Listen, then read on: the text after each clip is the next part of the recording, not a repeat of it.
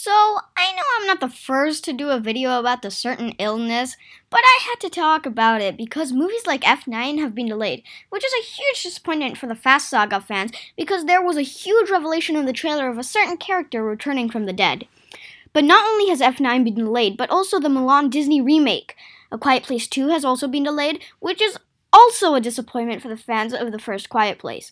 But one film that has been delayed that I can't get over is The New Mutants, because that film has already been delayed before. I really want to go watch it.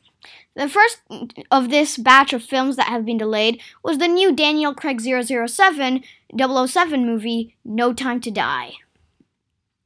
These movies aren't the only things that have been delayed due to the certain illness that YouTube prevents me from mentioning. TV shows like Riverdale and a personal favorite of mine, The Flash, have also been delayed. Supergirl and Batwoman are also putting a hold on production, which is strange because Supergirl was already filming the finale of its fifth season.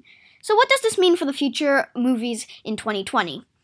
Well, Disney might have pulled the plug on Mulan, but Black Widow is still being released in May. So with all that said, looks like there won't be as many summer slash spring break movies to watch, so we'll just have to wait and see what happens.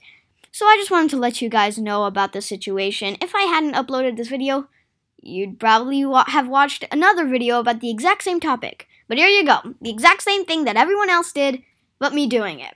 So despite all the circumstances, I hope you have a great day, guys, and see you next time.